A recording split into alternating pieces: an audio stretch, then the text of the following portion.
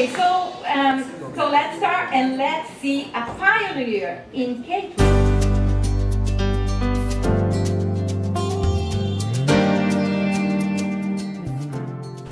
O nosso maior desafio profissional é sempre manter a qualidade, a variedade e o respeito ao cliente.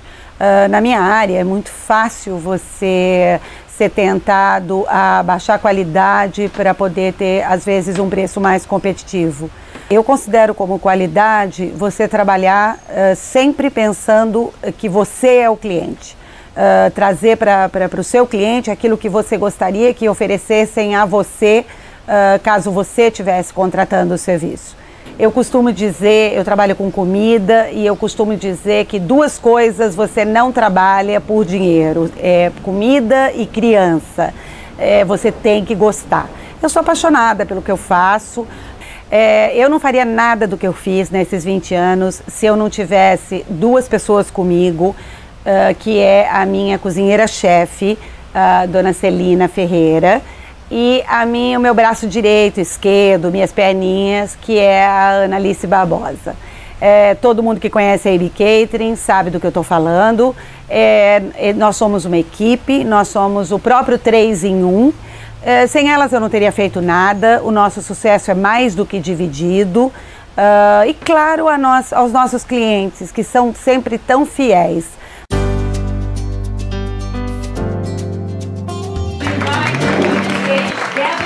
And founder of AB Catering.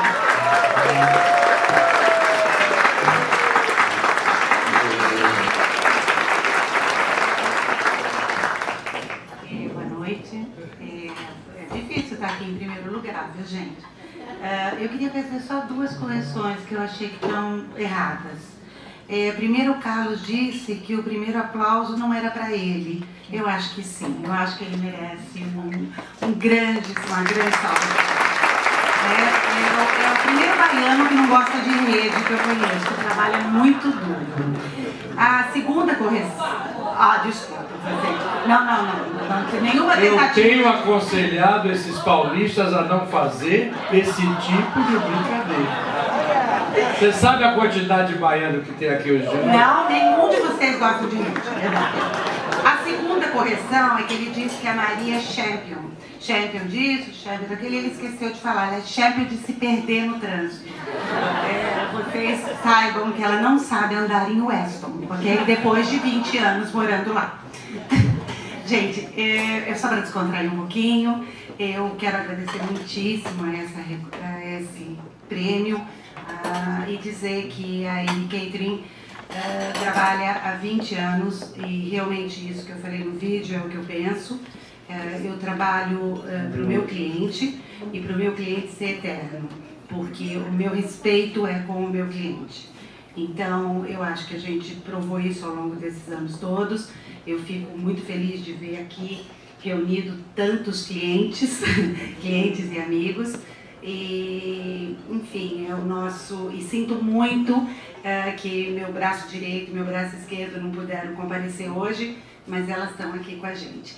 E que tudo foi feito e que sempre vai ser feito com o intuito de fazer o melhor e de fazer com respeito. Obrigada. Débora, conta pra gente como é que você se sente recebendo esse, esse mimo, esse prêmio aqui hoje. Ah, é muito gostoso, né? Quem não gosta de um mimo, né, Tati? É, eu acho que eu me sinto recompensada por tantos anos de trabalho, tantos desafios, tantas dificuldades. Né? Eu acho que eu me sinto recompensada, feliz. Qual é a importância de um, de um reconhecimento desse para um empresário brasileiro aqui nos Estados Unidos? Ah, eu acho que na medida em que você recebe um prêmio desse, é a certeza de que você está no caminho certo, de que você andou um bom caminho, porque são tantos empresários, né? Uh, então, assim, na minha área mesmo, tanta gente. Então, eu acho que é a certeza de que eu andei no caminho certo.